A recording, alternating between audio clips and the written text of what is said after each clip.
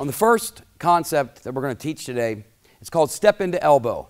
Now, this is a white belt technique. It teaches the student circular motion and body positioning. So, as your opponent grabs, you're going to make a live hand spraying your radius and ulna.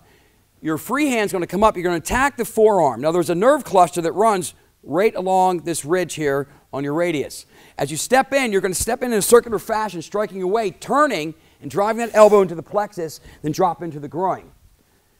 From this side, same thing. Hand comes up, live hand. You're going to step in in a circular fashion, striking as you break away, enter. Notice my hip is close to his body so I can maximize my impact. I'm going to do this fast on both sides. Height.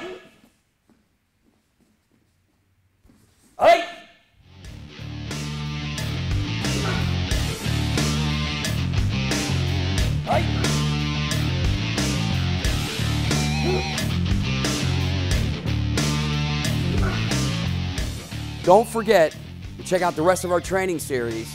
Now go out and be great. Great Mats is a national flooring retailer. Contact Great Mats for free samples, free design help, and live customer service today.